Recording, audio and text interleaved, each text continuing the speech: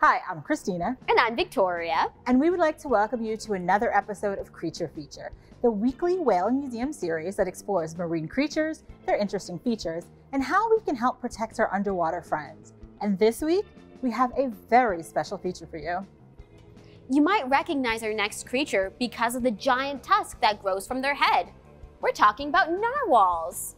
Narwhals are marine mammals that live in the Arctic Ocean. They can weigh up to 3,000 pounds, hold their breath for 25 minutes, and dive over a mile deep in the water.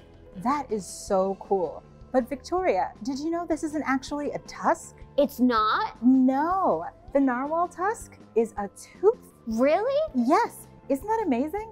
It's attached to their upper jaw and gums, just like mine or yours, but it grows right through their upper lip.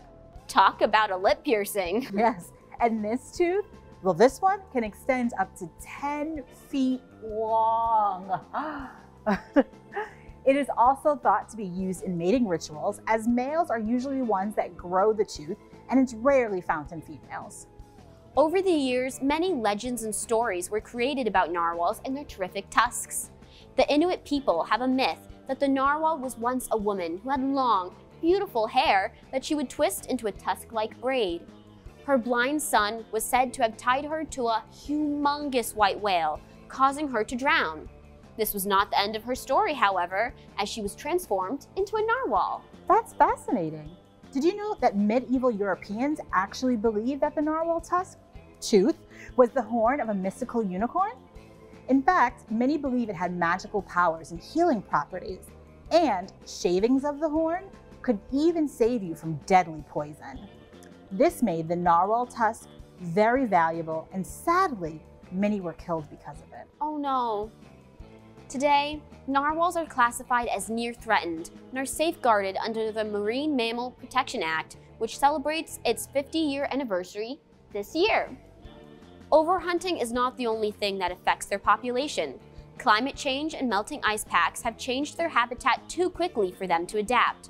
Shipping, underwater construction, and underwater military activities cause noise pollution in Arctic waters that disrupt a narwhal's way of life. Wow. Well, we can try to ensure the survival of the narwhal population by prohibiting the hunting of narwhals and trading of their tusks.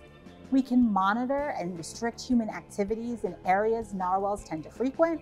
We can also do our part to limit climate change by reducing the use of fossil fuels, switching to renewable sources of energy, and doing whatever we can to reduce carbon emissions. Christina, do you want to learn more about narwhals? Oh, absolutely. Then please join us this Wednesday at the New Bedford Whaling Museum at 11 o'clock a.m.